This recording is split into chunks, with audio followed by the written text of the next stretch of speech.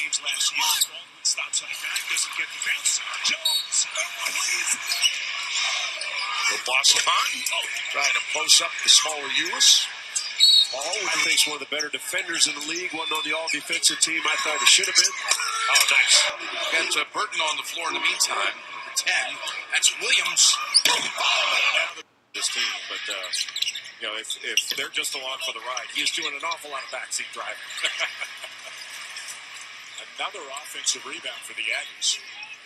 And that, that's really going to be an issue going forward with the big guys for Kentucky. They've got to be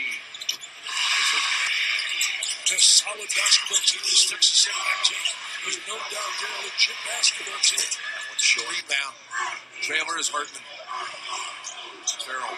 He can make this shot. He's been passing up now. Hartman put it up. Got the soft.